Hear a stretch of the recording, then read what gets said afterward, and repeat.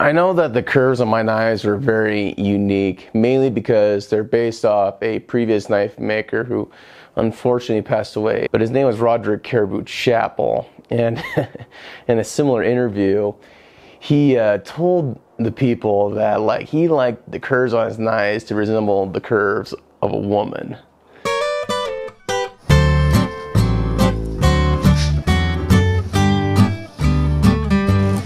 Let me sing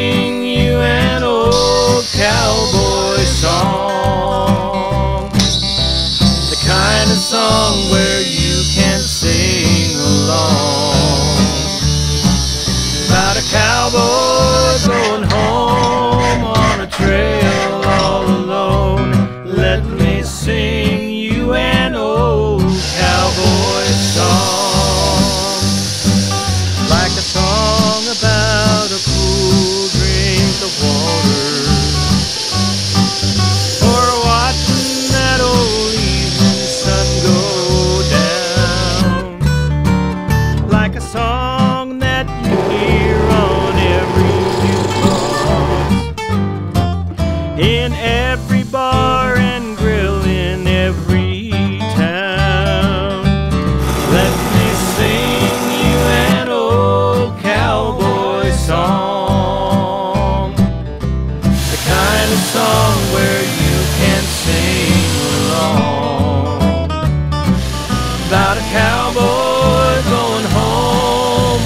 on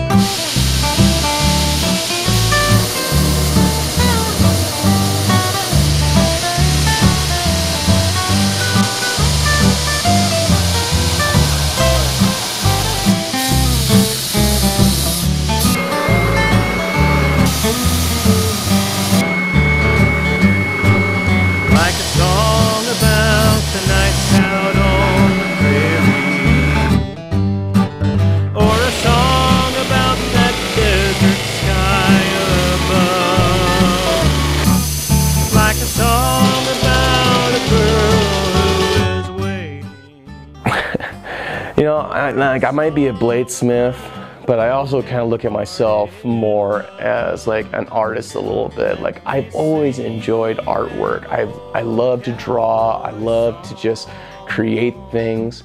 And when I'm forging out a knife or just like making one, grinding it, shaping the handle, shaping the way the blade is, and just polishing it to a fine shine, to me, it's like a piece of art.